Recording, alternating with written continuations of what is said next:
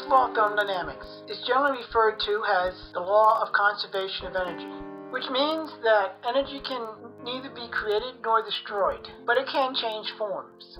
It can also be stated that the total amount of energy in a closed system remains constant. There are several ways in which the first law of thermodynamics can be expressed mathematically. The most general expression of the first law would be that the sum of all changes in energy equals zero. The simplest possible expression of this is that the change in energy form 1 plus the change in energy form 2 equals zero. In dealing with heat and work, the formula is the change in internal energy equals the heat added to the system minus the work done by the system. In a gravitational field, it is the change in potential energy plus the change in kinetic energy equals zero. In this illustration, the red circles represent energy. Note that you can move the energy around all you want, but the total amount remains the same. The same thing goes for actual energy. You can move it around, change its form, but the amount remains the same. The significance of the first law is that the total amount of energy in the universe is constant, so it is impossible to get more energy out of a system than is put into it.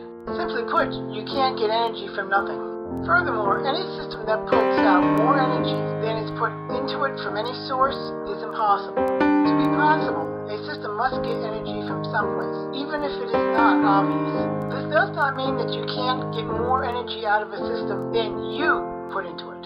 In classical thermodynamics, free energy is the energy in a system available to do work. However, this is not what this section is about. In this section, free energy refers to a group of devices alleged to put out more energy than the user puts into it. So the question is, does free energy violate the first law of thermodynamics? The answer is no, as long as the free energy device gets energy from someplace. Now it needs to be noted that there are recognized devices that technically qualify as free energy. These include solar cells that get their energy from sunlight. Now, most alleged free energy devices seek to tap the universe's zero point energy. While it may be debatable as to whether or not zero point energy can be tapped, it does not, in principle, violate the first law of thermodynamics. In conclusion, the first law of thermodynamics simply says that the amount of energy in a closed system remains constant, regardless of how it is changed or moved around. To add energy to a system, it needs to come from someplace else. According to the second law of thermodynamics, heat will spontaneously flow from a hot object to a cold object. The amount of unusable energy in a closed system always increases. It is impossible to turn all of the heat put into a system into work. The basic concept behind the second law of thermodynamics is the fact that heat always spontaneously flows from hot to cold. It never spontaneously flows from cold to hot. When using heat transfer to do work, some of the heat always goes to a colder location. This is called entropy. You can never turn all of the heat into work. Heat can be forced to go from cold to hot by applying work. This also reduces the entropy, and thus work can reduce entropy. Is the basis of air conditioners, refrigerators, and heat pumps. Entropy is the measure of a system's thermal energy unavailable for conversion into mechanical work. It is a measure of the disorder or randomness in a system.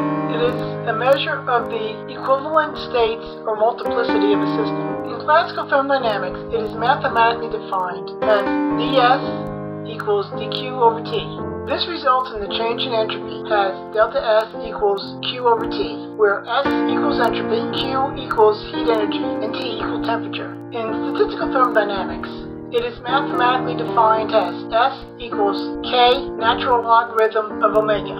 This results in the change in entropy as delta S equals K natural logarithm of omega 2 over omega 1. Entropy is related to disorder through the multiplicity of a system. Disordered states have far more multiplicity than ordered states, such that omega d is much much greater than omega O. This means that entropy d is much much greater than entropy O. Since the second law of thermodynamics indicates that entropy tends to increase, it also indicates that a system's degree of disorder tends to increase. The only way to increase a system's order, that is, decrease its entropy, is for work to be performed on the system. Abiogenesis is life from non-life by naturalistic means. Living things are the most ordered and complex systems known to exist. The simplest known living cell is infinitely more organized and complex than the most organized non-living chemical systems produced in a lab. This means that the entropy of a living cell is orders of magnitude lower than the entropy of the same amount of non-living chemicals. This means that abiogenesis goes against the second law's tendency towards increasing entropy.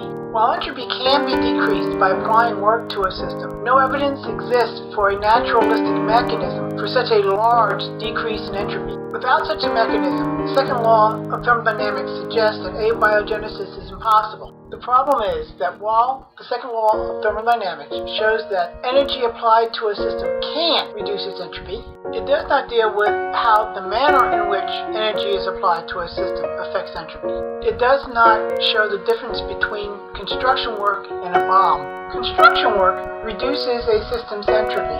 Bombs increase a system's entropy. The problem is that the second law does not show the difference. An additional principle is needed to show this difference. This is also needed to really determine if abiogenesis is possible. In conclusion, heat spontaneously flows only from hot to cold. It indicates that the disorder of a system tends to increase. It indicates that the disorder of a system can be reduced by applying energy. However, it does not show how the way the energy is applied affects the disorder of a system. Third law of thermodynamics states it has the temperature of a substance approaches absolute zero, its entropy approaches zero. The concept is that because heat is a result of the motion of the molecules in an object, and that this motion causes the molecules to move around and spread out, that this causes a condition of high entropy. As an object is cooled, the object's molecules slow down.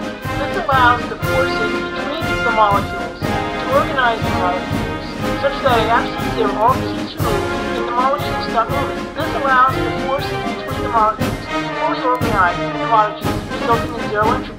Absolute zero is the lowest possible limit on temperature. This temperature is stated as 0 Kelvin, which is equivalent to minus 273.15 degrees Celsius, or minus 459.67 degrees Fahrenheit. The lowest temperature ever achieved was achieved by MIT researchers in 2003. That temperature was 0.45 nanokelvin, which is 45 ten billionths of a Kelvin, or 45 ten billionths of a degree Celsius above absolute zero. And here is the same temperature in Celsius and Fahrenheit respectively.